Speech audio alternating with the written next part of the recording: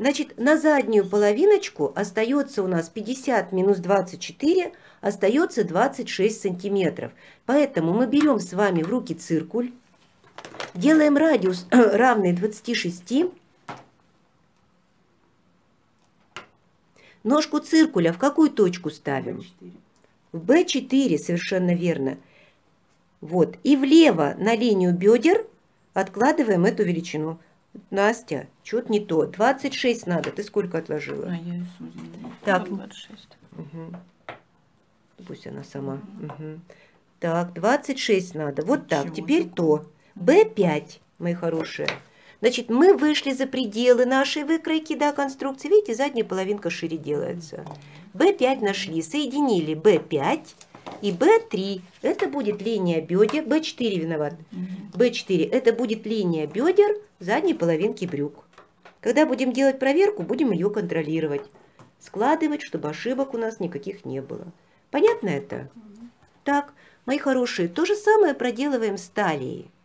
Вспоминаем, какая у нас талия должна быть у фигурки, брючек. 38. Половинку мы убрали на переднюю часть. Значит, остается на заднюю 19. Там не меряем. Мы на 19 выходили, да?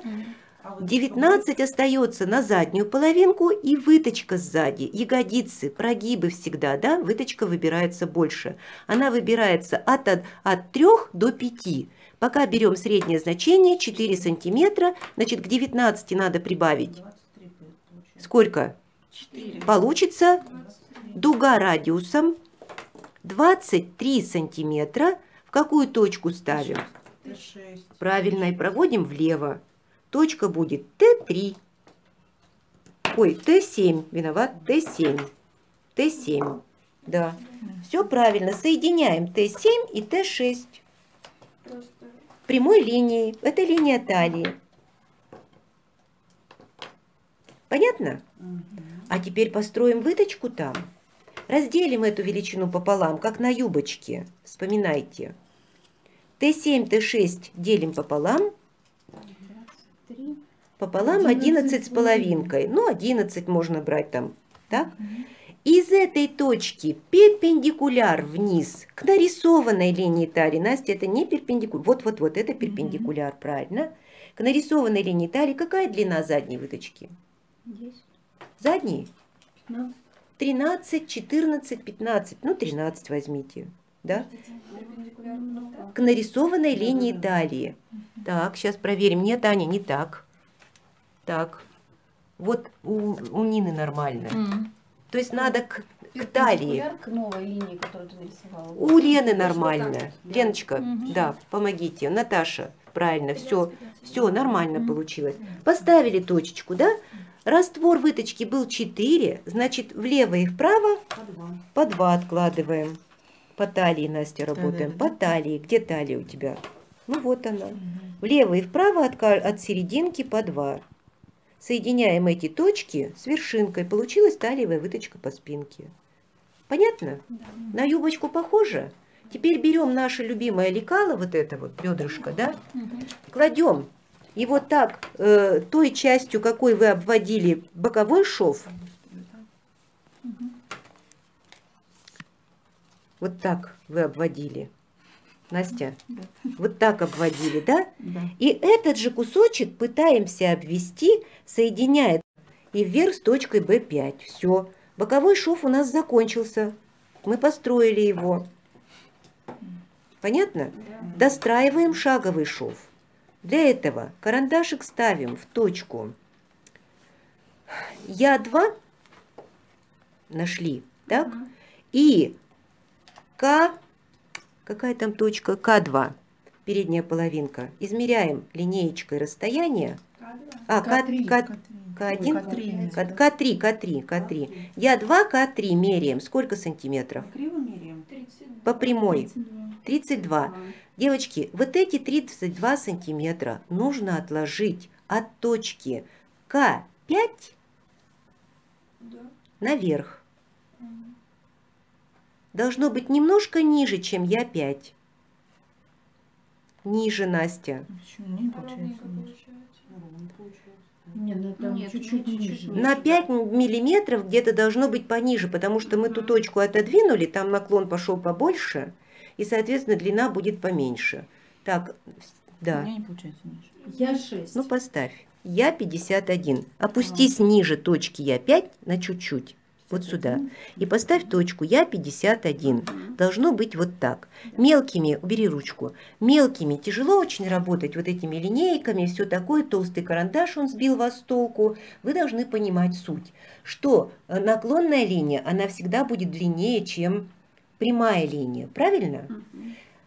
Развеиваем определенные мифы. Здесь должна сказать, что э, по многим методикам вот этот отрезок на задней половинке брюк вам предлагается делать меньше в длину, чтобы потом его оттягивать утюгом и сутюживать. Я такое пробовала делать. Мне это не понравилось, потому что если вы сделали короче заднюю половинку, естественно, у вас будет посадка по передней половинке, и она очень быстро вылезает. Начинаете носить эти брюки, да, можно утюгом подтянуть эти 5, 1 сантиметр, 0,7 и все. Но она быстро вылезет потом как дефект, даст нам заломчики на передней половинке, и поэтому я это забраковала. Я эти отрезки делаю одинаковыми. Понятно? Так как мы выбрали теперь верхнюю точку шагового шва задней половинки, я 51 у нас будет, оформляем прогиб вовнутрь. На той линии, где все прогибы оформляем, вот на этой линии. Влево теперь уже откладываем, иногда до сантиметра. Вот сюда, да, иногда до сантиметра, то есть этот прогибчик бывает немножко больше. Просто рисуете такую линию, которая будет красивой. Правильно, Аня? Молодец, уже Аня нарисовала синим карандашом. Так, Нина нарисовала, отлично. Все, молодцы.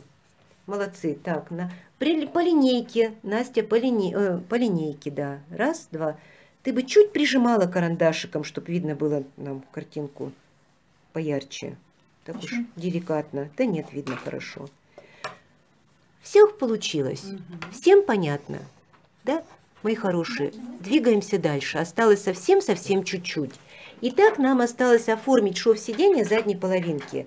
Для этого ставим карандашик в точку Я-51.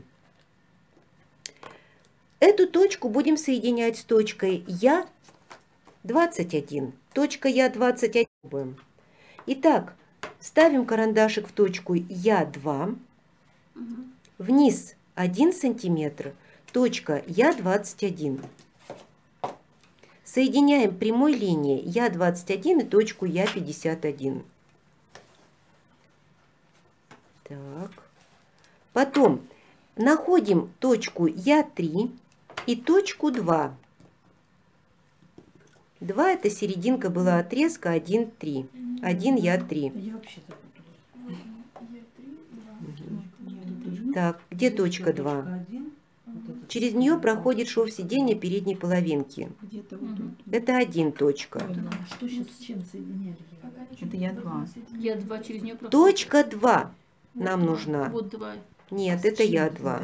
Я... А, точка два, вот она. она Вот она, вот Анечка, молодец, разобрались, да? Мгм. Вот. Вот это точка 2. Аня, покажи девочкам, да? И точка Я-3. Думаю, нашли ее, да. Видите? Делим этот отрезок пополам. Точка 3. Я три и два пополам. Да. И плавной линией соединяем Я-3, Я-50, Я-21. Мы на этом месте сидим. Точку 3 Да. соединяем, да? Да, 3. И потом точку 3 соединяем с Б3. Давай, Настенька, вот так вот красиво. Вот, молодец. Все. Вот так как-то у нас получилось. Но тут немножко ты рано прижалась к этой линии, поточнее, сейчас у кого-нибудь еще снимем. Но, в принципе, построение закончено, можно взять цветной карандаш и обводить. Сейчас, девочки, я вам помогу. Правильно, Нина. Вот точка три. Вот точка 3, совершенно верно. Я... Я этим самым. 21 плавно. Мгм. Так. Так. И потом и также плавно в B3 приди. B3. Вот, вот и все поярче. Отлично, отлично. Так, ну что же, мои зрители дорогие, на этом я заканчиваю съемку. Совсем то, что тут с памятью у нас пошло что-то не то. Не знаю, что из этого получится. Ну, как бы там ни было, э, построение брючек мы закончили. Может быть, я еще немножко сниму, как у нас будет выглядеть потом результат. Смотрите, значит, дорогие наши зрители, что у нас получилось у девочек в тетрадках. Я вам показываю. Вот так вот мы построили заднюю половиночку, переднюю половиночку, все обвели. У девочек получилась вот такая вот красота. Вот такая вот получилась у нас красота. И сейчас у меня ко всем вам вопрос, мои хорошие. Мы начинаем, вы же знаете, что мы сначала строим базу, а потом начинаем рассуждать, а если у нас человек нестандартный? Потому что сначала у нас все хорошо, а потом мы начинаем на эту базу добавлять какие-то изменения, если у человека есть какая-то отличительная особенность. Что характерно для брюк, это животик. Да? Бывает, что есть у нас животик. Как изменить переднюю половинку брюк? Вот я ее себе нарисовала на моей тетрадочке, э, в моем листочке, да? Для того, чтобы у нас этот животик поместился в наши брючинки. Куда отодвинуть вот эту Выточку линию? брать. Выточки вообще нет на животе, мы знаете об этом, да? Что выточку мы вообще не строим на животике. Как сделать? Вот так. Как сделать, чтобы у нас... э, Что надо сделать вот с этой вот полосочкой, вот с этой вот, вот с этой вот серединкой, да? Чтобы животик у нас поместился. Куда ее надо отодвинуть? Вправо, Вправо. сместить. Так, где карандаш? Дайте какой-нибудь карандаш. То есть вправо это куда? Настя, нарисуй. Куда вправо? Сюда. Да. Ну, нарисуй. Как бы ты сделала? Так, смелее, побыстрее. Дальше куда? Ну, возвращайся, Нина, помогай. Ага, а где шо- ширина шва сидения передней А, половинки? Ну, то есть, Пропала. Э, еще хуже. Продлить, что ли? Нет, вы Нет. должны вернуться вот к этой вот- точке. Вот, вот точно так же отложить. Нет, нет, нет. Вот уж вот так вот делают.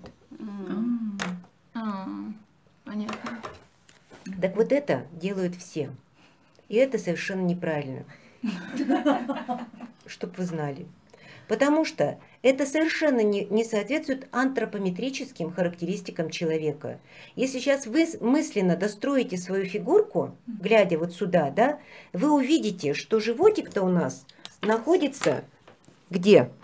Вот здесь животик. Правильно? Вот здесь находит, тут ножка пойдет у нас какая-то, да?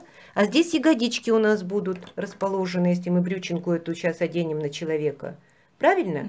И вы, отводя вот эту вот линию, как вы сказали, вправо, да, извините, врезаетесь вовнутрь тела. Да? А тело, животик вытолкнет это все. И Ага. впереди, под животиком, родятся огромная куча заломов. И человек просто не сможет поднять ногу что часто происходит в жизни. Полные люди, когда у них вот этот вот большой животик, надевают вот подобного рода, подобным образом скроенные брючки и имеют то, что имеют. Поднять ногу не могут. У меня в жизни был такой случай, пришла женщина, у которой 150 сантиметров были бедра. Она работала, вредная профессия у нее повар, повар, повар, э, у нас в столовой. Э, пробовать очень много приходилось. Короче, она покупала брюки и ходить в них не могла. Она говорит, Галя, шей мне брюки. Я когда, значит, построила эту базовую выкройку, думаю, как же мне ее поменять под этот животик-то? И мысленно ее как бы представила в профиль, сбоку. И стало понятно, что вот этот живот настолько большой, что он перекрывает даже ягодицы сзади. И я отодвинула ей вот эту линию, как я вам сейчас изобразила, но вот неудобно снимать и показывать, да? Давайте поточнее, вот так вот нарисуем. Я отодвинула ее на 4 сантиметра влево, то есть освободила место для животика. А чтобы у нас выкройка не изменилась, да, молодец, Анечка. Вот эти 4 сантиметра я прибавила тоже влево у бокового шва. Брюки были черные, и я их спокойно сдала. Человек был счастлив, говорит, господи, хоть ходить могу. Э, Коленка у меня поднимается, не зажимается, не зажевывается впереди. Вот это все безобразие под животом, понятно? Потому что ткань идет гладко от животика к коленочкам, к ножке вниз. Идет гладко. От скольки до скольки можно? Вот слушайте делать? дальше историю. Значит, а потом я задала себе вопрос, когда она ушла. У нас очень много шло тогда костюмов в полоску. Вертикальная шла полоска. Вы знаете, что если полоска, то стрелка у брючинки должна идти строго по ней вверх. Да? Я тогда думаю, ага, у меня стрелка сломается, а что мне сделать, чтобы стрелка не сломалась? Я вышла вот таким образом, стала выходить из, э, из э, этого, синий бы какой-нибудь, давайте зеленый возьмем карандаш, да? Я вот эту вот величину оставила на месте, но я добавила ее вот сюда. Вот сюда добавила этот треугольничек. И у меня получилась ширина шага передней половинки. Видите, чего нас просит живот? Живот просит увеличения ширины шага передней половинки. По сути дела, да? Чтобы ему было там комфортно и удобно, место, чтобы было побольше. И поэтому я добавлять стала вот этот вот кусочек. То есть треугольничек, у нас передняя половинка брюк стала похожа на заднюю. Понятно? Для больших размеров, для тех, у кого есть животик. Что происходит сейчас в жизни? В жизни я обычно здесь почти не добавляю, а я немножко убираю вот в этом месте. Посмотрите, вот я сейчас здесь покажу. Вот здесь. Вот здесь я убираю. То есть, Настя, покажи ручкой, что я нарисовала. Да, вот эту линию я нарисовала. То есть я делаю отведение среднего шва, как бы шва сидения передней половинки влево, минимум на полтора сантиметра. У таких фигурок, э, где явно выражен этот животик, да, то делаю на 2 сантиметра. И у меня таким образом расширяется ширина шага передней половинки. И уже от этой точки начинаю рассчитывать боковой шов. Понятно? И тогда мне не приходится его вот так вот двигать.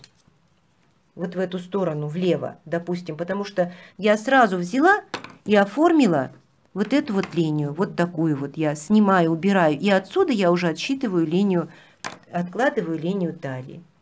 Если этого недостаточно, я добавляю вот сюда один полтора сантиметра, вот здесь один полтора, здесь полтора, два, а внизу один полтора сантиметра. Вот и, и все. Понемножечку там и там и мы расширили ширину шага передней половинки, и у нас есть куда поместиться нашему животику. Понятно? Все. Особенности построения наших брючек. Мы снимаем высоту сидения, как вы знаете. Она у нас получилась вот тут 25 сантиметров. Да? У вас у всех может получиться совсем другая величина. То есть потому что строение позвоночника у всех самое различное. И в то же время, когда мы откладываем выкройку, мы ее рассчитываем. Мы не смотрим на высоту сидения. Мы с вами взяли СБ, разделили пополам и получили расстояние ТЯ. Помните, да? Угу. Вот так. А дома вы будете делать следующим образом. Вы будете сравнивать эти две величины. И в работу будете брать какую из них, большую или меньшую? Большую ответ неверный. В случае жизни. Значит, э, мне дали вот эту выкройку с той оговоркой, что высота сидения не может, она расчетная. Если бедра там, скажем, 120, э, это 60, то высота сидения разделить на 2 будет 30. И, и мне сказали, что самое большое значение это 32. Не должно быть превышать 32. У меня подруга зовут Валя, я ей строю эту выкройку, бедра 120. И смотрю, какая-то выкройка не очень симпатичная получается, очень вопросительных знаков таких, ну линии такие. Ну, я думаю, ну ладно, так научили, 30, не 32. Оставила высоту сидения 30. Сметала брючки, одеваем. Первое, что она делает, она тянет их под грудь. Ее родная высота сидения оказалась 22 сантиметра. Разница была 8 сантиметров.